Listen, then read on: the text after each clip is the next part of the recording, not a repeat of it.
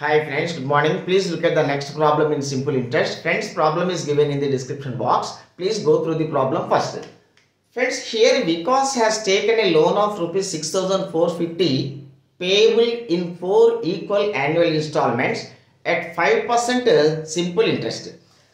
Friends, say the equal annual installment uh, X. So, he pays first installment after one year and second installment after 2 years, third installment after 3 years and fourth installment after 4 years.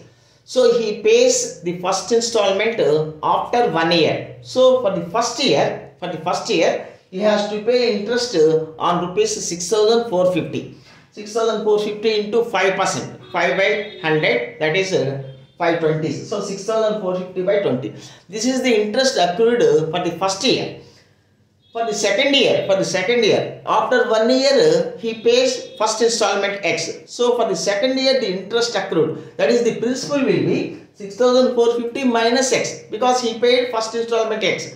So for the second year the principal will be 6450 minus x into 5 by 100 by 20 for the second year he pays two installments. So 6450 minus 2x by 20 and for the fourth year he pays three installments. So the interest accrued will be 6450 minus 3x by 20 friends this is the total interest accrued for the four years plus this is the principal. So this is the total amount payable by Vikas. So let us see the total amount.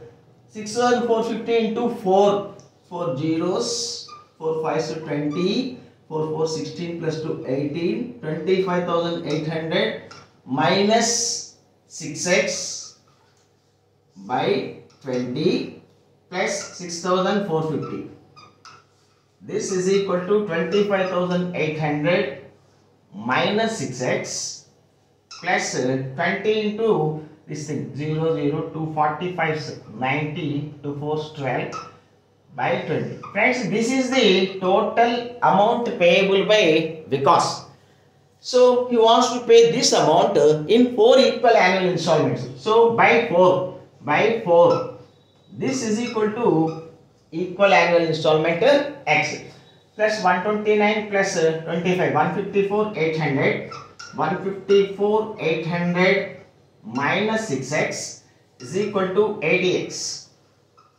Friends, 86x, 86x is equal to 154, 800 and x is equal to 154 800 by 86 86 once 86 14 plus 54 68 688 688 means into 8 so the equal annual installment must be 1800 friends. Thank you